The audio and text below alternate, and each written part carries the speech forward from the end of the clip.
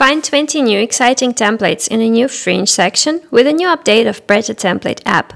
Let's pick one of the new templates to create a skirt design. Outline it to make a drawing, color and pick a pattern to apply on top. Layer another pattern that suggests a bit of a texture on the fabric in a darker shade and apply shadows using a watercolor brush on top. Add shadows and light with marker tool to the leather part. Extend this approach to the fringes to add dimensions and select a dashed line in a small pen to follow the stitching lines on the template.